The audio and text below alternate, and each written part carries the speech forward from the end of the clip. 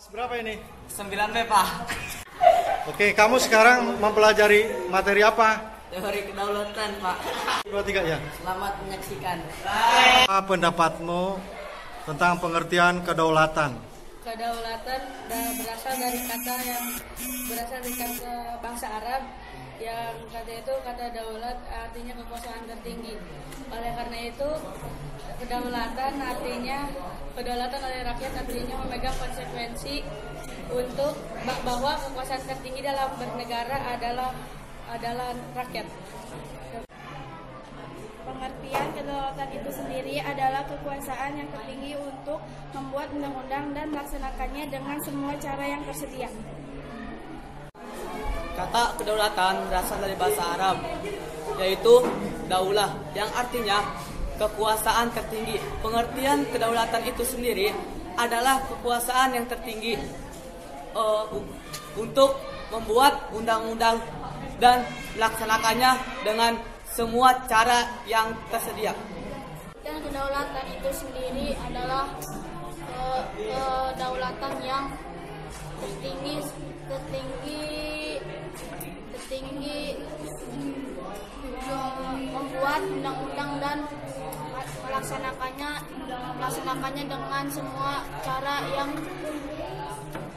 Ih, dalam ih.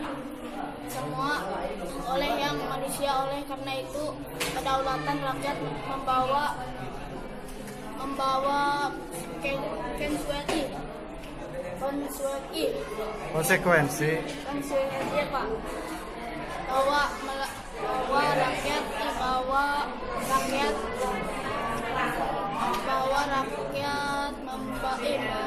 memegang Kekuasaan. tertinggi dalam Pengertian kedaulatan.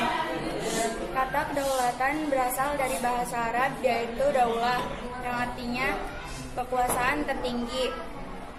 Pengertian kedaulatan adalah kekuasaan yang tertinggi kekuasaan yang tertinggi untuk membuat undang-undang dan melaksanakannya dengan cara yang tersedia. Pengertian kedaulatan Kedua, kedaulatan berasal dari bahasa Arab yaitu daulah Yang artinya kekuasaan tertinggi Pengertian kedaulatan itu sendiri adalah kekuasaan yang tertinggi untuk membuat undang-undang dan melaksanakannya dengan semua cara yang tersedia. Sekarang kamu jelaskan sifat-sifat kedaulatan. Sifat kedaulatan itu ada empat, yaitu asli, permanen, tunggal, dan tidak terbatas. Apa yang dimaksud asli? asli artinya tidak berasal dari kekuasaan lain yang lebih tinggi Disebut permanen apa pengertiannya? Permanen berarti suatu kekuasaan itu merupakan satu-satunya dalam negara tetap berdiri walaupun pemerintah sudah berganti. Oke. Jelaskan tunggal itu apa? Tunggal artinya kekuasaan. Tunggal artinya kekuasaan pemerintah satu-satunya dalam dalam pemerintah Dalam pemerintahan. dalam dalam pemerintahan yang tidak dibagikan yang tidak dibagi dan yang tidak dibagikan ke badan-badan yang lain. Yang dimaksud dengan tidak terbatas.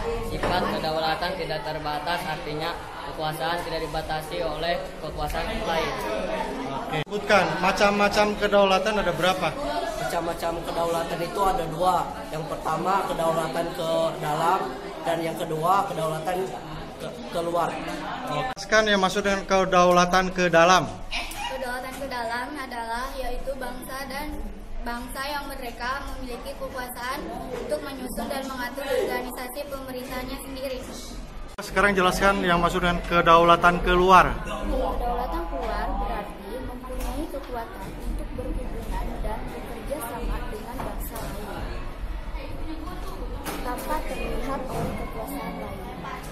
Kedaulatan ke dalam maksudnya apa? Kedaulatan ke dalam mengerti bahwa bangsa yang merdeka memiliki bangsa Indonesia yang merdeka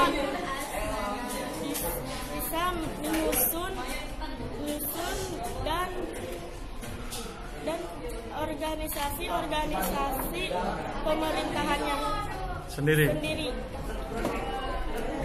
Keluar berarti mempunyai berhubungan untuk dan bekerja sama dengan dengan Negara. lain dan eh, dan tanpa terikat oleh kekuasaan lain. macam-macam kedaulatan. Uh, kedaulatan da- ke- kedaulatan dalam dan kedaulatan luar. Sekarang saatnya kamu jelaskan teori-teori keda- kedaulatan ada berapa sih? Ada lima satu. Teori kedaulatan Tuhan. Kedaulatan Tuhan, teori kedaulatan raja. Kedaulatan raja, teori kedaulatan negara. Kedaulatan negara, teori teori kedaulatan hukum. Hukum, terakhir. teori kedaulatan rakyat. Oke, terima kasih. Kedaulatan Tuhan merupakan teori yang pertama dalam sejarah. Teori kedaulatan Tuhan berkembang menjadi teori kedaulatan raja yang menganggap bahwa raja bertanggung jawab terhadap dirinya sendiri. Kekuasaan raja berada di atas konstitusi. Negara kekuasaan tertinggi terletak pada negara.